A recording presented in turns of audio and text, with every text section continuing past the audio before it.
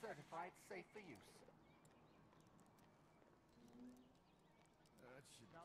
We need to clear that. Scheduling tasks.